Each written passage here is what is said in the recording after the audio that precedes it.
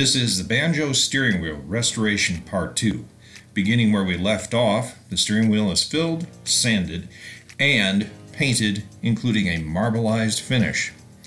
We're going to take you through the entire process, including suggesting products that we used and procedures. And as you can see in the background, we're giving you some clips showing our steering wheel spinning system.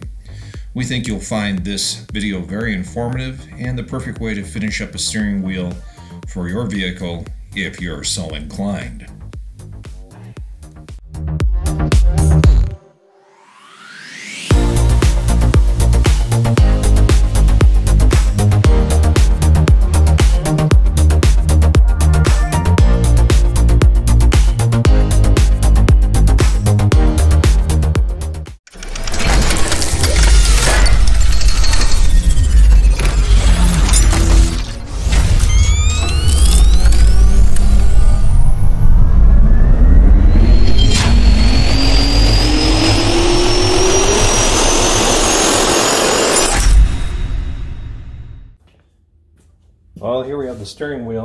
After it's all been sanded out and all the way around, worked on. And as I told you before, having a rasp is really useful. The rasp does an awful lot of it, but most of it has also been sanded with 80 grit sandpaper because all we're trying to do is get the basic contour back here. Now the other thing I should tell you is what I discovered in going through it is I had about nine places where I found other little flaws that I missed the first time. Went back, cut those out like I showed you, filled those, sanded those also. Didn't think you needed to see that twice. Now we're going to look at the back of it here. And whether or not it's really apparent in the video, the chrome and stainless portions of this are quite dirty and full of stuff from over the years. We're going to show you how we're going to clean that off. Here we have some really old crummy paste wax. It's not worth anything except for what we're going to use it for. We can take our quadruple aught steel wool here and rub some of it onto this old paste wax and then we can rub it directly on our part. Just give you an idea, you go through and you just rub it on here and what ends up happening is it removes years and years of grime and dirt and maybe paint overspray or whatever that's on here. And you'll just take the stuff right off. And you'll end up with a surface that, in this case, is more than usable. Now, if you're going to do a show car, you'd want to totally redo the part and have it replated. But this is going to be a very nice car, and this is something you'd have to lay on the floor to look at so I'm going to opt for the idea that I can go through and use my quadruple aught steel wool and polish everything up. Now remember, I've got wax on it. I don't want it anywhere down near where I'm going to paint. So right now we're not going to work in that area. We're only going to work up here in the center. Now we're going to wipe this down real well to get the excess wax off of it because we don't want the wax to be a problem when we're painting. But as time goes on, we get this thing all done, I can go along and redo all the spokes and make them perfect too. So I'm going to finish that off camera, but that shows you kind of what I'm going to do. When I'm done with it, I'm going to just buff it out with a microfiber towel. The other thing I am using here is a fiberglass pen, and that's just to get down here in the grooves in the steering wheel components. Going around doing that. And if you don't push too hard, this will just take off the stuff and won't even damage your plating. So you just go around work your way around with that too. So when you're done, everything's to look really nice, and we're not going to spend any money on replating this part because it's really nice enough to use on a decent restored car. Not going to be Concours quality, but it's going to be real nice. And we won't have spent a bunch of money on it. Fiberglass pen, I think, set me back $7.95. And you can get refills for them. So it doesn't really cost very much once you have the pen in hand. And you see I'm just going around, only using it in these grooves because it's a little hard to get the steel wool down in there, but the fiberglass pen works real good for that. The negative with the fiberglass pen is you don't want to get the glass fibers on yourself because they can hurt pretty good if they embed in your skin and they're very hard to get out. Basically have to grow out. So you want to kind of avoid getting those in your skin.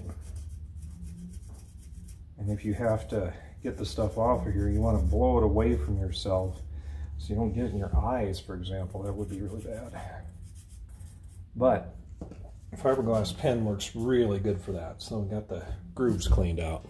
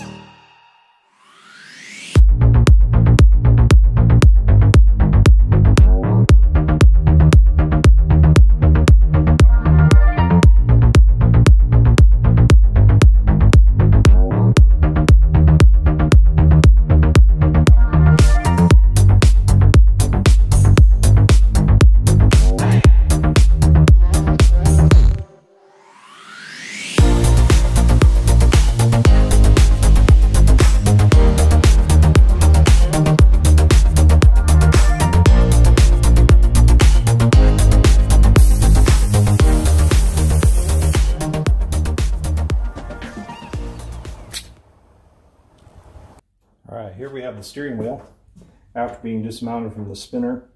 Left all the masking in place, wet sanded it, little cake pan, and our sandpaper with a soft foam center. That was done with 320, towel to clean up all the time. And went through and sanded the whole thing out. Found a couple minor imperfections that I filled with body filler, and they're very minor. And they've been done sanded out. So what we've got here is a steering wheel infinitely smoother, not good enough by any means. we're going to put it through another round of our epoxy primer. And we'll show you what we used for primer. It's not necessary to use this particular one, but I wouldn't use a lacquer-based primer for this. In this case, I'm using MP170 right here by Omni Primer by PPG and it has a epoxy catalyst MP175 by Omni also. Now the advantage of using that is it's not going to shrink up by a, like a lacquer primer would. That's why you really shouldn't use a lacquer style primer for this. There's enough going on with shrinking, stretching, etc. Changing in size of the plastic, so let's not add to it a lacquer primer. So we're not going to use that all we're going to put another coat of MP170 on here. Now MP170 can also be used effectively as a sealer. So if you were done with something you could use as a sealer, but we are just going to use it for our primer because we happen to have it and it works good.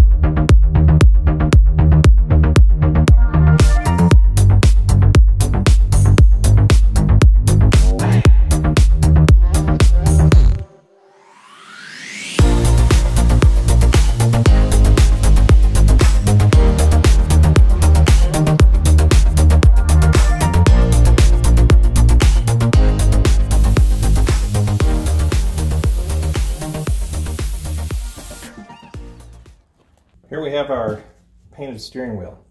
You know, we could go on and give it one more coat since we've done a little cleanup on it if that was going to be our finished color and that's actually our base color. What we're going to be doing here is we're going to marbleize this wheel.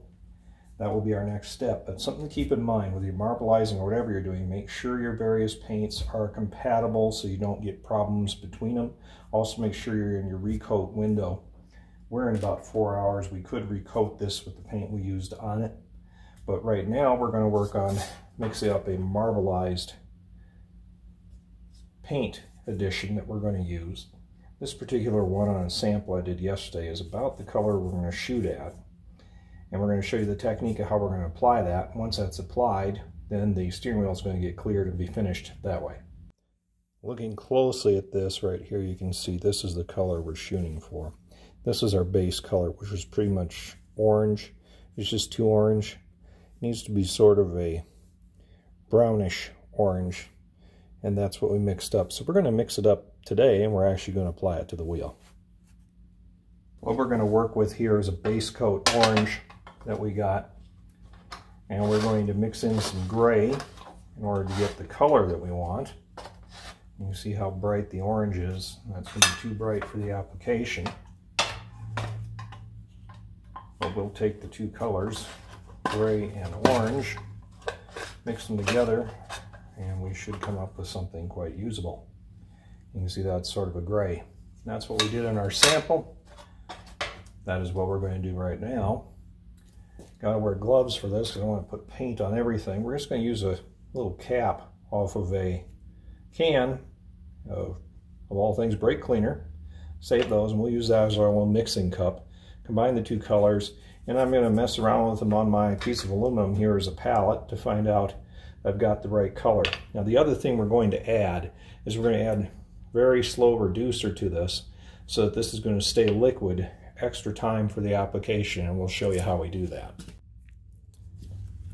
I'll put some of our orange in with a old spoon I keep out here in the garage.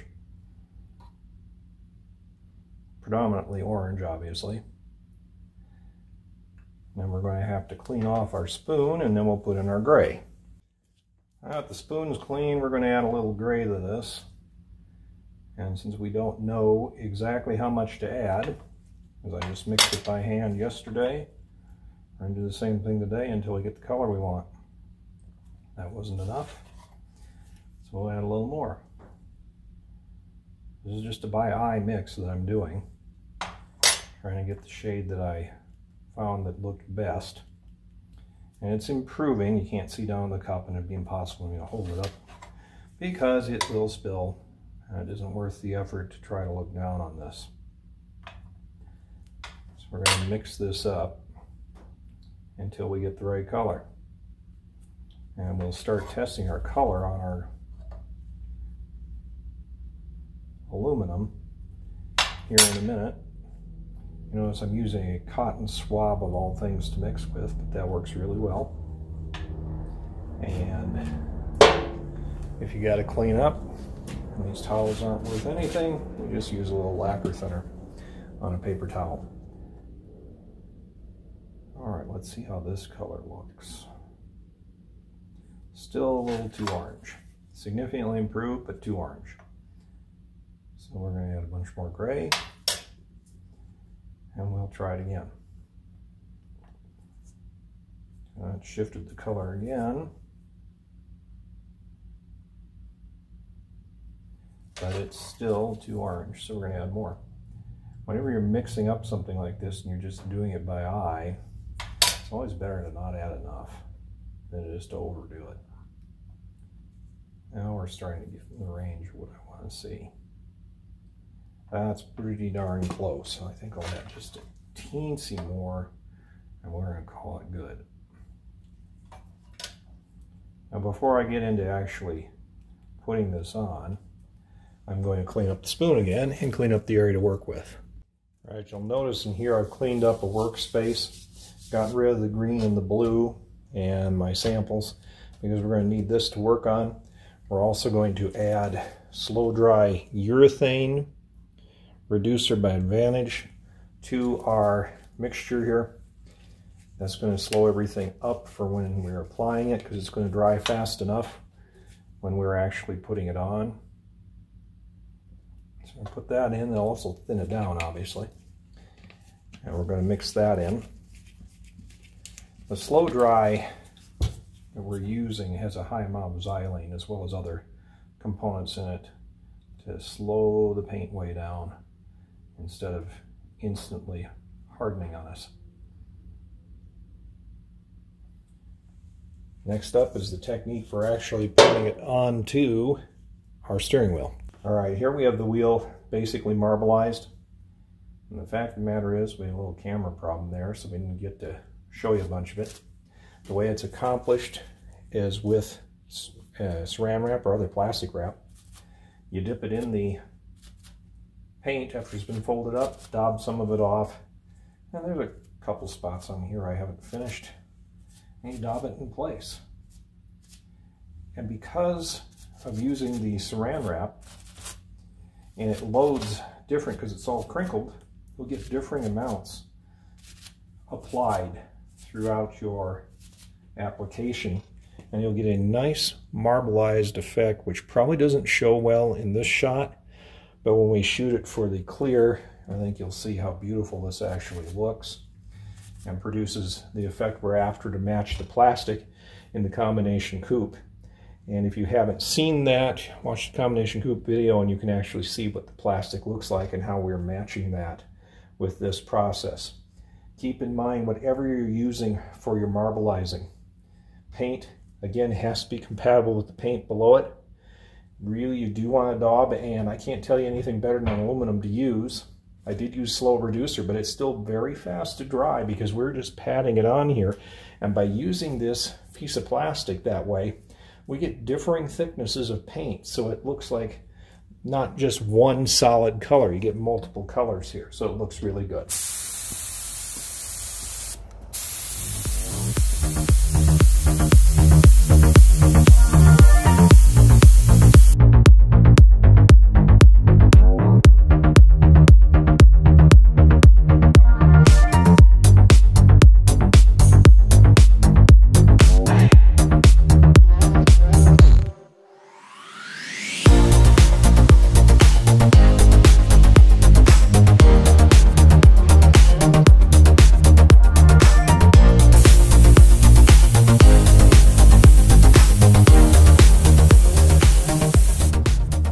This distance, you can't quite see that the match here is absolutely fantastic. It's probably more of a lighting trick, but when you're here in person, this is this matches the dash nigh on perfectly. We've got the steering wheel set in the car. Now right now it's been 24 hours, not even 24 hours quite, since this has been sprayed, more like 12 with the final clear. So I'm going to let this sit and not actually touch the steering wheel. I've only been touching the spider and the center here and working that way to take all the masking off and set it in the car. Now I'm actually going to hook everything up here in the reverse order that it needs to be done to put it back in the car, but I'm going to let this sit for quite a number of days before I'm even going to basically touch and use it. The reason being is you really, really want this to have dried thoroughly and gotten all the solvents out of it. Even though it doesn't smell highly full of solvents right now, I just wouldn't rate it as something you want to touch at the moment. When I had the tape on here, I had squeezed on it. It seems thoroughly hard, but I would still wait just to make sure. Now, down below, I've already put an old towel because I'm going to have to solder because that's what I've decided I'm going to do to put this back together. It's probably going to solder it. Um, I may change my mind in a moment. Anyway, the old towel will protect everything in case I drop anything in here. I'm going to put on the nut. The nut needs to be in first because your horn components go in after the nut and you can't fit them through the nut itself. So as you bring it up, we're going to reverse the order and actually retighten this. If we have to take it off, because it is splined. If we have to take it off because it's not perfectly centered, well, we can do that later on and redo it for centering, although I've tried to have it theoretically centered with the wheels straight. but it's a little harder to do than one thinks it is. So now we're going to tighten it down in here. Okay, having gotten the wire out of the way, we're going to tighten up our steering wheel. Again, I really don't want to grab onto that edge. Got that back tight. And remember, if you have to remove that, you need to leave it on part way and pull up in the center in the future. Now we'll go back to working on getting our wire reattached and putting our center back in here. This is the upper portion of the wire attachment right now. We're going to end up putting it in there once we've attached it. And then we are going to set our horn ring and assemble the rest of our steering wheel. All right, we're set up to solder. I happen to have the towel I told you about earlier. Down on the floor, I've got a board with the soldering gun sitting on it so that I won't damage any interior. I have the assembly here with a large piece of heat shrink. I may find out that's a little too large, but between the medium and large I've got in stock, that's what I have to use. So I may end up having to have to use a little tape when we get done. I'm going to try to hold this thing to one side using the wire in the tube itself as our third hand. So I'm going to heat up the soldering gun here. And remember the towel and everything in here for like the board, etc. They're all protection for the fact that I don't have any other way to ensure that I won't drop solder somewhere. See, I just dropped some solder, but that's okay. I dropped it on top. And we're going to bring our soldering gun up and endeavor to get this over to one side and solder it together.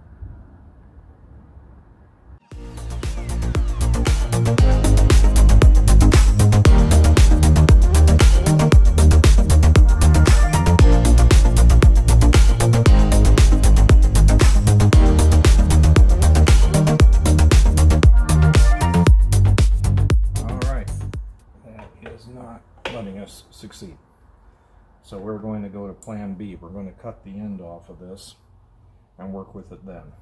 All right, we're back to try try again here. We did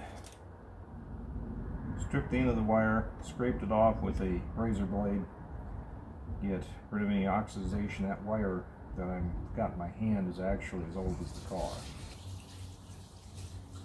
Looks like we just got it. So it made a big difference to redo that end and get it the way it should be and also use that little board in order to hold it. Now we're going to see what happens when we heat shrink this. This may heat shrink too big, in which case I'll have to get some tape on it too. But we're going to see what's going to happen with the heat shrink. And for that, I'm going to use a heat gun. Back with the heat gun to see how far heat shrink is going to go down here.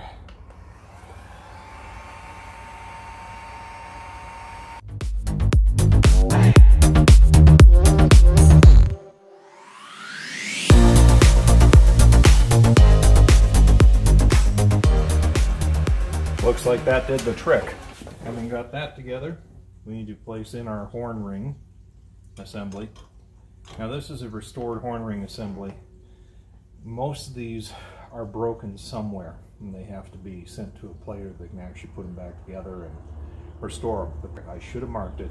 I don't know if I'm going to put it in without it making noise. So I'm going to put it all together. I'll have to turn the power. If it's making noise, I'll have to take it apart and rotate it because when they get put back together that way, they're not perfectly, perfectly symmetrical. Now, the player did a very good job, but as a result, it may make noise. I may have to rotate it. Besides that horn ring, we need to put our center back together. And this is the ram center that goes in here. And of course, you have your piece that goes over. Now, I'm not going to bore you with me putting the screws in for that. I'll show it to you when it's all put together here in a minute and we'll find out if it works and if I had to do it again. Be back in a moment. There you have power on, dome lights on up there. No problem with the horn. It does work. And we've got the steering wheel completely reinstalled, looking, I think, absolutely fantastic.